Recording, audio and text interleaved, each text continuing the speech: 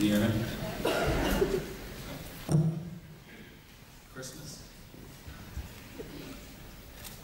Toasted chestnuts, cozy blankets, a warm fireplace, and an abundance of gifts perched underneath the family tree.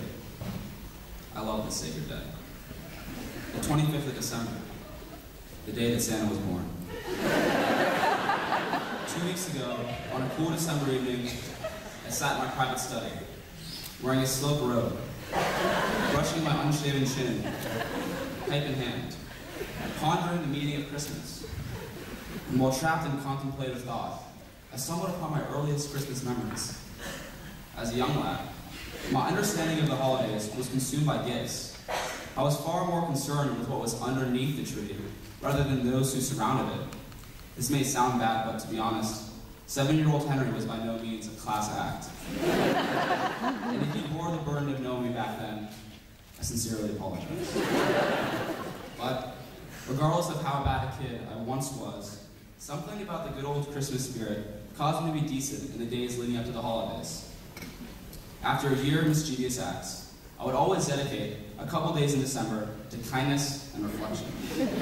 For example, in class, I once refrained from spilling Elmer's glue on a friend's paper snowflake, and I would always pray to Santa.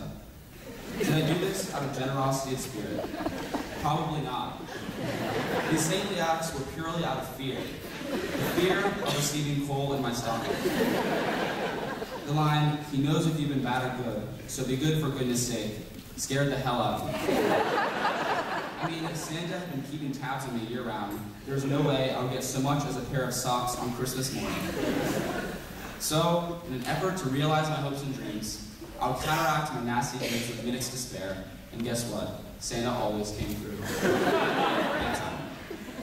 Big time. As time progressed, and as the idea that Santa was not real took hold of my peers, I faced a crisis of faith. In the fifth grade, cynicism replaced the holiday spirit, and all Santa believers were shamed. Due to the trendiness of anti-Santaism, I began to conform to the ideology as well, but only on the outside. I would tell my friends, I don't believe in Santa, but in truth, I would lay in bed late at night, teary-eyed, looking towards the North Pole, waiting for St. Nick to slide down my chimney early Christmas week. For me, for me, for me, no Santa meant no Christmas, and no Christmas meant no presents. God forbid. Santa embodied the splendor of Christmas morning. He's everybody's holiday hero, you know, the guy that gives you what you want most of the time. Each year, I assumed Santa's gifts would bring happiness and fulfillment, but time and time again, my expectations for Christmas morning far exceeded reality. With each gift I ripped open, I would always be filled with momentary joy, but as soon as the thrill wore down, I was always left feeling a little bit empty. I think back to the third grade. My family members were enjoying each other's company in the dining room. I was in the living room crying. At the time, I did not understand the reason for my tears. I remember feeling baffled by the utter joy and generosity of my family. I did not comprehend how they could be so happy when the supply of gifts under the tree had been fully depleted. No more gifts to rip open, meant no more excitement, yet my family members achieved joy despite the lack of presents. As tears streamed down my face, I began to realize the flaw in my approach to the holidays. And I looked to my old friend Santa for guidance. Santa is world renowned for his jolly attitude, and all he does is give to others.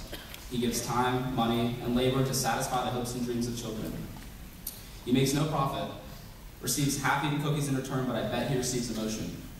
A fulfilling emotion that transcends all forms of emptiness. So, in order to avoid the emptiness I felt on Christmas evening, I would need to make a drastic change. Maybe my family members in Santa Claus achieved joy through generosity. This concept was hard for me to grasp. How could someone be happy when giving was their main focus during the holiday season? And how could I give to my family members in order to achieve the same contentment? As an unemployed third grader, I didn't exactly have the capital to buy gifts, but giving does not necessarily need to come in the form of something tangible. After all, my family members dedicate countless hours to serve my needs. My dear mother gave a large portion of her time driving me to and from soccer practice, cooking meals, and comforting me when I felt sad. My dear father dedicated time to throwing the football, playing the guitar, reading me stories before I went to bed, and even giving up his sacred spot in the master bedroom when the dark was a little bit too much for me to handle. These examples don't require money, They're gifts of the heart. Needless to say, I shifted my approach to the holidays just a tad. During the holiday season, it is easy to become self-centered. After all, it is a rare window to break from the demands of daily life. As tempting as it will be to solely pursue my own desires during the holidays, I will find the greatest release by catering to my family. Even though the all-knowing Santa will be keeping me in mind this year, I look forward to helping my grandmother around the house, even though I might regret saying that later. I look forward to hugging my sister for the first time in a long while, even though she may not return the embrace. And I look forward to enjoying the chaos of my family during the holiday season, because I know the smiles of my loved ones always provide a fuzzy feeling, a feeling far better than any gift Santa could deliver.